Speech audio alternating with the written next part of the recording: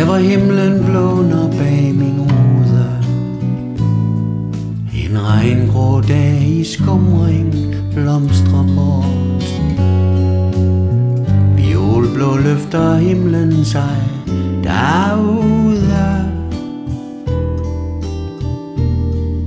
En kæmpe blomst Hvis voksetid til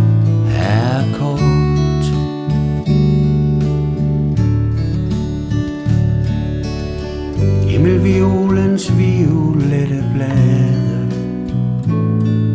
I skyer falmer hen og dør.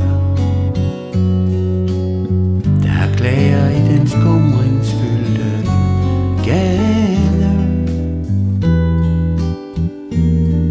En violin bag aftenen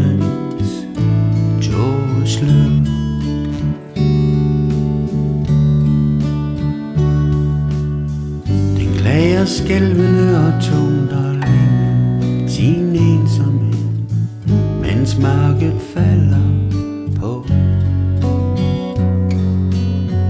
Og som en klang for øjens nervestrenge Langt borte tændte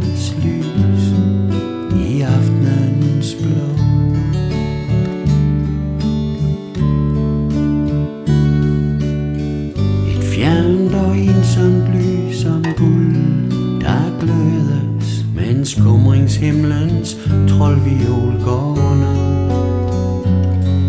Et lys, hvis sort, med violinen mødes,